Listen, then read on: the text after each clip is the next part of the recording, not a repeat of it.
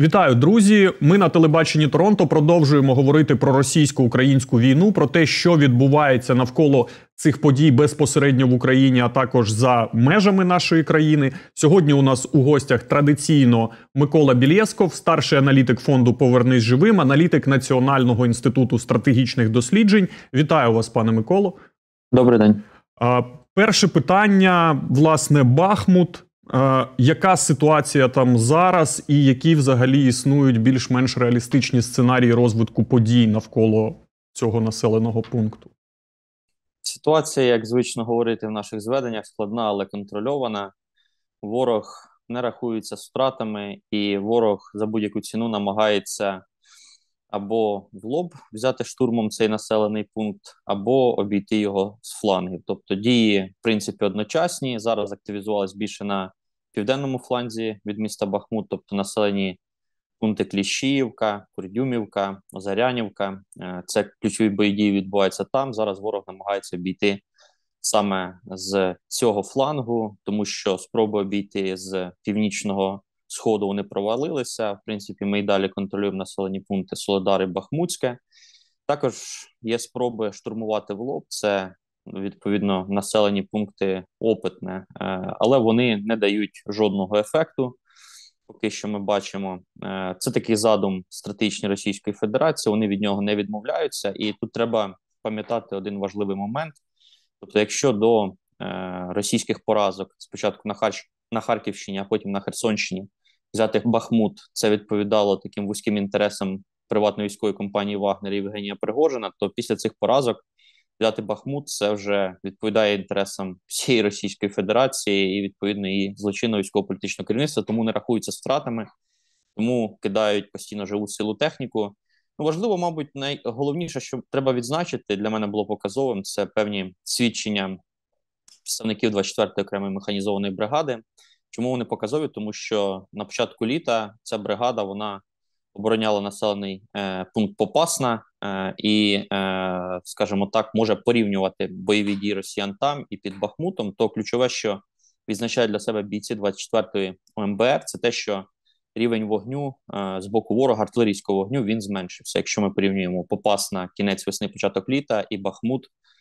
От кінець 2022 року, це це ключове, тому і ворог постійно кидає хвилі е, живої сили, не рахується стратами і намагається фактично виштовхнути нас е, або обійшовши з флангів, або е, фронтальними відповідно атаками. Але ну навіть якщо це відбудеться, давайте вже якби не можна цього повністю виключати, хоча це буде коштувати дуже дорого, то для Росії це нічого не змінить. Тобто їй треба буде знову в лоб штурмувати нові позиції, там, наприклад, навколо Костянтинівки, якщо ми так говоримо, і це знову їм буде дуже дорого дуже е, дорого коштувати. Тому навіть за найгіршого сценарію це ну не дозволить Росії переломити хід хід війни, створити якісь там основи для оточення і знищення наших ключових сил. Ну повториться ситуація, яка мала місце із е, Попасним спочатку, а потім Сєвєродонецькому, Лисичанському. Але знову ж таки, в умовах того, що зараз такої значної переваги в вогневій могутності немає, тому шанси на витіснення України і українських сил з Бахмута вони набагато менші, чим це там мало місце з Попасною спочатку, потім Сєвєродонецько лисичанської агломерації. Багато говорять власне про те, що Бахмут це більше така політична історія, що Росії просто потрібна, хоча б якась перемога. На цій війні чи взагалі дійсно це так, і наскільки це місто важливо безпосередньо саме для України?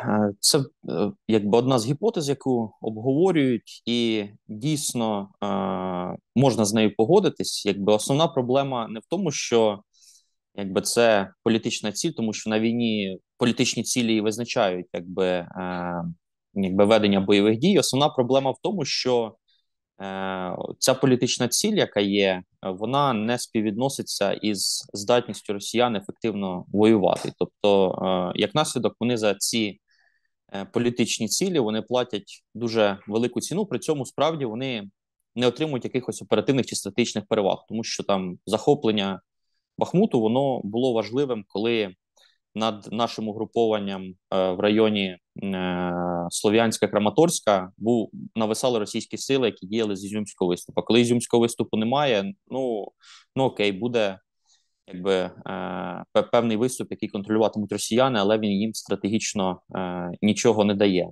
Для е, дивіться, для України е, з одного боку всі населені пункти важливі, але з іншого боку, ми вже в принципі порівняно з першим місяцем війни, коли в першому місяці війни в нас була дійсно така мобільна оборона, яка дозволяла розмін простір на час, тобто ми могли відступати тимчасово, щоб е, перегруповуватися, щоб наносити ворогу більші втрати в процесі маневреної оборони відступу. Починаючи з середини квітня, ми в принципі намагаємося тримати по максимуму е, цілісну лінію фронту, опираючись на шалоновану оборону, і тому ми й далі будемо, будемо це. Е, Продовжувати робити. А таке питання: є взагалі якась межа, після якої е, Бахмут із політичної історії для Росії стане власне трагедією? Може на досвіді інших війн?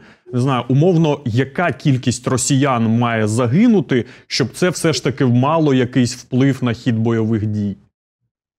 Розумієте, в тому то й проблема, що росіяни вони не керуються стратегічною логікою, стратегічними розрахунками. Якби вони керувалися цими розрахунками, їм треба приходити до оборони не лише, наприклад, на Луганщині чи в Запорізькій області, але власне і і, і в районі Бахмута, в районі Авдіївки. Але е, оскільки в них політичні розрахунки е, ключові, оскільки в них авторитарна політична система, тобто немає оберненого зв'язку знизу, будь-які імпульси, які йдуть знизу, вони фактично ніколи не досягають е, Кремля або дуже важко досягають Кремля, і як наслідок ну, робити ставку на те, що нанісши певне ураження, ми зупинимо е, спроби росіян захопити Бахмут чи там, наприклад, обійти Авдіївку. Я ну не беруся е, саме підписуватись під такою гіпотезою. На жаль, скоріше за все, ворог і далі буде намагатися просуватись в районі Бахмута або по фронту, або обійти з флангів в районі Авдіївки. Теж саме фактично відбувається та ж сама та ж сама історія, е, тому що якраз е, це черговий приклад, коли м, політичні мотиви домінують, вони не враховують воєнні реалії. Це така класика авторитарних держав, які влізли у війну, і це може відбуватись, на жаль, дуже довго, тому що стратами не рахуються. Мобілізація відбулася, е, озброєння і відповідно там танки, е, артилерія у росіянщині. Друга точка напруги зараз одна з основних це Сватова Кремінна. Яка там зараз ситуація і чому цей напрямок важливий для сил української оборони? Ну, Сватове Кремінна було важливим, тому що е, це був розвиток історії, яка почалася ще на Харківщині, тобто Балаклійсько-Куп'янська наступальна операція, яка потім переросла в звільнення Лиману, і потім ми вийшли власне на підступи до населених пунктів Сватової Креміна. І зрозуміло, що якби вдалося просуватися далі, створити, наприклад, флангову загрозу для Сєвєродонецька лисичанської агломерації, це було б дуже цікава історія. Що відбувається там? Відбулося те, що там лінія фронту стабілізувалася. Стабілізувалася через те, що ворог, не рахуючись втратами, в тому числі нещодавно мобілізованих, він е, постійно кидав додаткові сили, резерви, і вдалося створити необхідну щільність сили засобів. тому, якщо ви, наприклад, читаєте щоденно зведення генштабу, то перелік населених пунктів, де ідуть бойові дії, як біля Сватого, так і біля Кремінної, він практично не міняється. Тобто, в даному місці відбулася стабілізація лінії фронту. Ворогу вдалося створити необхідну щільність сили засобів, стягнути необхідні сили. Там мова йде від 15 до 17 батальйонів за певними оцінками. І як наслідок Україні вже важко робити те, що було е, зроблено на Харківщині, чи там в рамках боїв за Лиман, коли ворога було недостатньо сил. Ми там створили флангову загрозу і змусили ворога теж відступати з міста Лиман. Тому тут поки що лінія фронту стабілізувалася. Це в принципі, е, якби було доволі доволі очікувано. Ворог провів відповідні заходи. Вони дали ефект. Наступне питання таке більш е, загальне: чи стане зима, яка вже власне почалася? Таким затищам для бойових дій, чи в Україні немає цього часу на перепочинок? Бо багато розмов про те, що саме Росія зараз потребує певної паузи для перегрупування, накопичення ресурсів. Як на вашу думку, що нас чекає цією зимою? Дійсно, питання зими це одне із найбільш широко обговорюваних питань, щодо якого немає єдності, є різні оцінки. Є розуміння, звичайно, з одного боку того, що Україна повинна по максимуму не давати Росії перегруповуватись, не повинна давати перепочинку, е, не повинна фактично дати Росії реалізувати комплекс заходів щодо перетворення цих 300 тисяч нещодавно мобілізованих ну більш-менш бойову силу, створення шелонованої глибокої оборони на тих чи інших напрямків, і як наслідок там повної стабілізації лінії фронту, як мінімум, там в Запорізькій області, в Луганській області, ну або там продовження наступальних дій на напрямках Донецької області. Тобто цей імператив розуміють всі. І е, без навіть західних експертів, коментаторів, військово-політичне керівництво розум... Е, України розуміє цей імператив. Е, з іншого боку, 10 місяців війни це до, доволі тяжко і важко не лише для нашого противника, але й для наших сил.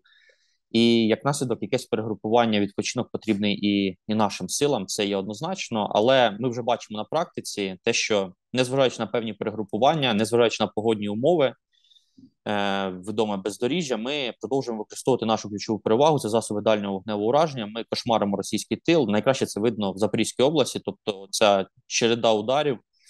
Е, протягом останнього тижня дуже показова, яка зачіпала і ближній, і дальній тил ворога, нанесення ураження живій силі, скупченням техніки, системі управління, логістики. Тобто, звичайно, в ідеалі нам треба й далі м, наступати, далі не дати ворогу пригрупуватися, але є певні об'єктивні обмеження. Е, там ж, е, і не лише жива сила, яка має відпочивати, люди мають відпочивати, але і і техніка, е, і боєприпаси. Тому що ну на заході зараз є трошки дещо неправильне розуміння. Наприклад, люди вважають, що ми вже зрівнялися з росіянами по вогневій могутності, а можливо навіть е, здобули перевагу. Насправді ми лише зменшили перевагу росіян вогневій могутності з допомогою систем Хаймарс М270. Для того, щоб постійно наступати, треба мати як мінімум паритет, щоб десь створити локальну перевагу, а краще перевагу загалом. Тому не лише погодніми умовами, я б сказав так, на яких всі чомусь концентруються, це трошки дивно. А в першу чергу це е, наявність достатніх сил і засобів, і те, щоб справді люди люди перепочили, тому що 10 місяців це дуже дуже багато. Але ми використовуємо переваги і постійно носимо е, засобами дальнього вогневого ураження. Е, власне ураження по пріоритетним цілям і гарантуємо те, щоб ворог з максимальним ускладненням прийшов цю зиму. В ідеалі, звичайно, це деморалізація росіян на фронті повинна досягнути точки певної неповернення, щоб ті сили взагалі не змогли далі воювати, і когось треба було повністю заводити на їх заміну. Ще питання про ці удари, які відбулися минулого тижня по аеродромах стратегічної авіації. Я не буду питати у вас, чим били, хто бив. Мене цікавить більше історія, наскільки це вплине на. Взагалі, от умовні обстріли критичної інфраструктури, тобто це відсування, перебазування цієї стратегічної авіації в глиб Росії, це якось впливає на ситуацію, яка відбувається зараз? Ну, це гарна першу чергу піар-історія, е, комунікаційна історія. Але теж, от я так спостерігаю по західним дискусіям, е, якби що говорять е, західні експерти, ну, мені здається, вони дещо переоцінюють роль і місце цих інцидентів і значення, або там, якщо от виходити з того, що за цим цим стоїть Україна, здатність України підтримувати такий темп відповідно цих інцидентів, фактично. Тобто, це перший момент. А другий момент, на жаль, статична авіація або дальня авіація, яка використовується, це використовуються ракети театру воєнних дій, так звані з потенціалом стендов. Е, дальність цих ракет це тисячі кілометрів. Тобто, так можна відсунути аеродроми, але все одно е, е, літак з іншого аеродрому більш далі він вийде в район е, якби пуску, проведе пуск і далі ті ракети підуть по е, ну на жаль, е, робити свою чорну справу. Фактично, тому це класна історія, звичайно, і важлива і на міжнародну арену, але вважати, що ми таким чином повністю нівелювали цей фактор. Ну мені здається, це перечасно. Це так само, як, наприклад, із фактором от атака надводних безпілотників по базуванні Чорноморського флоту. Тобто, так це класно з точки зору, що обмежили е, діяльність надводної компоненти. Вона тепер боїться виходити за Севастополь, е, але все одно це не знімає повністю загрози нанесення ракетних ударів крилатими ракетами калібр. Те ж саме стосується і ракет Х-101 чи Х-555, які використовуються стратегічною авіацією е, Росії для нанесення ударів по об'єктам критичної цивільної інфраструктури України. Друзі, нагадаю, що під цим відео є посилання на англомовний твіттер та українськомовний телеграм. Пана Миколи закликаємо підписуватися, шерити його пости. Останнє питання власне на сьогодні. Лукашенко сьогодні раптом доручив ем, перевірити бойову готовність збройних сил Білорусі.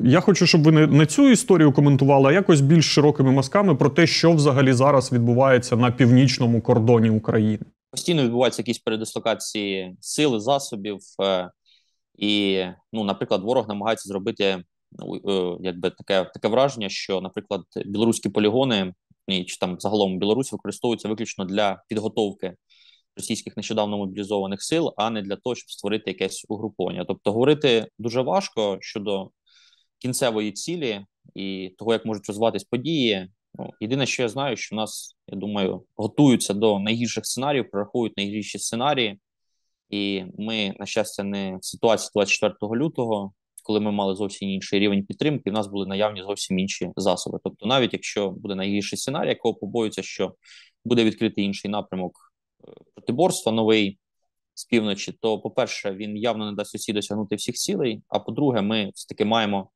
засоби дальнього вогневого ураження, точкове використання яких може зупинити на певний час просування, виграти час на перегрупування, виграти час на те, щоб зрозуміти, який ворога задум остаточний, і вжити необхідних ефективних контрзаходів для нівелювання планів противника. Дякую, пане Миколо, що знайшли для нас час. Друзі, дякую, що дивилися. Ставте лайк цьому відео, підписуйтесь на наш канал та соцмережі пана Миколи. Побачимось.